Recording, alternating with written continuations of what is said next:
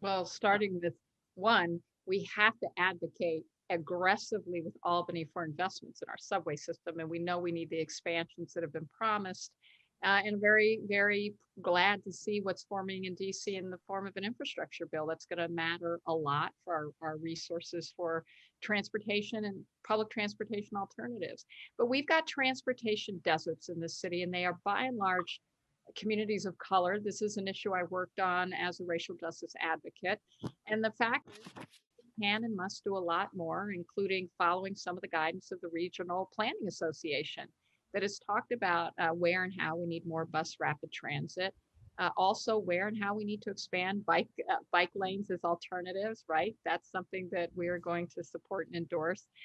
But also recognizing that when we do that, it is about connecting busing uh, and buses to nodes of subways. So this is a kind of planning. I'm that's sorry, but I'm gonna have to cut you off there Sure, because no I've got to give everybody a chance to answer.